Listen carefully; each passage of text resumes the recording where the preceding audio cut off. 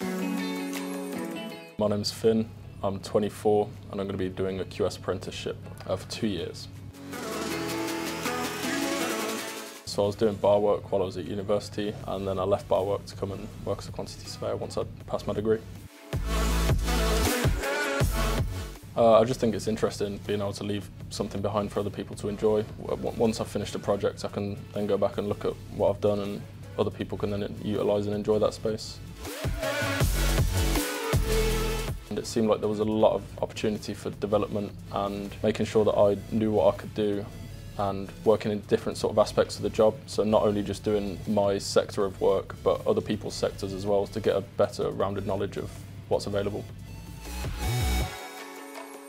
Uh, choosing Willmott Dixon Interiors because I saw some of the projects that had already been done and they seemed interesting to me. Coming in for the interview day, meeting some of the existing staff and the attitudes that they had, everyone seemed really positive I'm in a band, I'm learning Japanese and I like cooking. It's, it's always sunny in Philadelphia, it's quite funny. I went to Tanzania in Africa and I worked with some other people to build a school out there, pretty much from the ground up. So it was pretty rewarding being able to go and meet the children that are going to benefit from that.